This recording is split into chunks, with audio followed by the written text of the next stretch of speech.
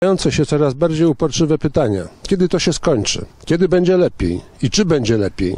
Nie znajdują odpowiedzi. Lepiej już było. Kiedy będzie lepiej?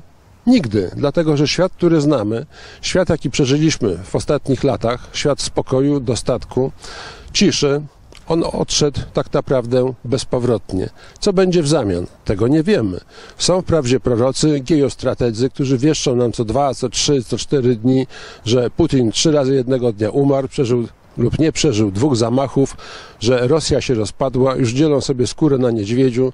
Znani, ge, znani geostrategzy dokonują różnego rodzaju analiz, że tak naprawdę to już nastąpi podział i my jakiś spory kawał Rosji uzyskamy w nagrodę nie wiadomo za co. Tak nie będzie.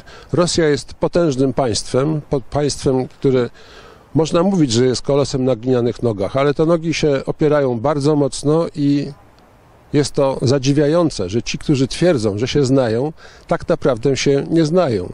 Najgorsza sytuacja jest tych geostrategów różnego rodzaju, postperelowskich oficerów generałów, tak jak generał Koziej, który prawie 30 lat spędził w strukturach Ludowego Wojska Polskiego, czy generał Skrzypczak, który także opowiada niestworzone rzeczy, stojąc tym kijem przy mapie, pokazuje, tu przegrali, tam już weszliśmy, tu wygraliśmy, tu przeszliśmy, tu ofensywa, tam kontrofensywa, tu zwycięstwo. Oczywiście nic z tego się nie sprawdza.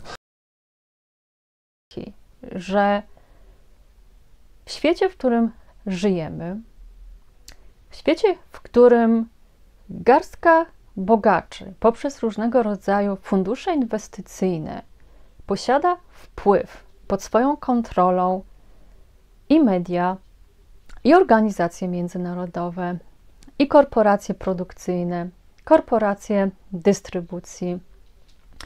Kontroluje w dużej mierze naukę, kontroluje w dużej mierze oświatę, edukację. Takie, w takiej sytuacji istnieje bardzo duża pokusa, jak również bardzo duże realne niebezpieczeństwo, że takie kręgi władzy mogą w bardzo prosty sposób wywoływać zapotrzebowanie na siebie. O co chodzi?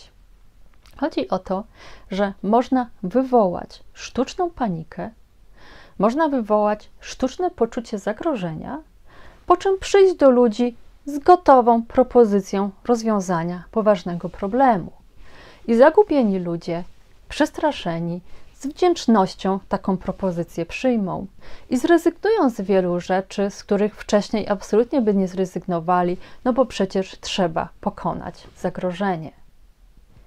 Uważam, że to jest to największe zagrożenie, z którym obecnie ludzkość ma do czynienia. Zagrożeniem tego, że właśnie ta ścisła sieć, o której jest tutaj mowa, będzie cały czas tworzyć popyt na samą siebie, na swoje własne usługi, jednocześnie przejmując w ten sposób kontrolę nad zasobami całego świata. To jest mój zarzut.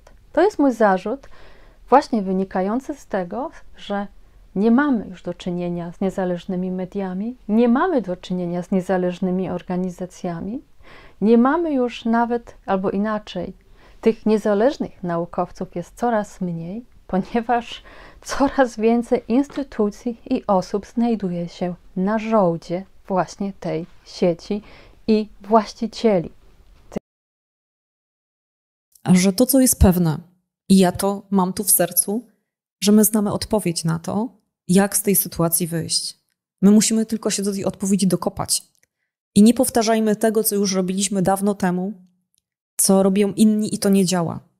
Znajdziemy to rozwiązanie, ale przede wszystkim, żeby nie zginąć, nie zostać wchłoniętym przez to tsunami, to musimy się trzymać razem. Czyli e, przestać e, na punkcie tych analiz się dzielić i szukać winnych, tylko szukać wsparcia, szukać e, pomocy, łączyć się. Mówiliśmy już o chociażby zakupach u rolników, ale teraz tego będzie, będzie potrzeba jeszcze więcej. E, działajmy e, nie na zasadzie takiej, bo ktoś mi mówił, niech będzie jeden przywódca, musi się jakiś lider pojawić. Nie, nieprawda. Jeżeli będzie jeden lider, to jednego lidera jest bardzo łatwo unicestwić. Ale jeżeli będzie tysiące, miliony ludzi, którzy powiedzą: Ja sam wiem, biorę odpowiedzialność za siebie, e, I ja będę tym literem, ja będę tą iskrą. To jeżeli zapali się tysiące iskier, to zrobi się jasno. I ostatnie już zdanie. Tak, idziemy przez ciemną dolinę i będzie jeszcze ciemniej. Musimy się na to po prostu przygotować, również y, fizycznie, czyli zrobić jakieś zapasy jedzenia. Y, I kiedyś, ja, y, I kiedyś bym powiedziała, że tak, idziemy przed ciemną dolinę i przede wszystkim nie wolno nam się w tej dolinie zatrzymać, a tym bardziej rozgościć. Idźmy cały czas do przodu. I kiedyś myślałam, żeby powiedzieć, że idziemy ku światłu.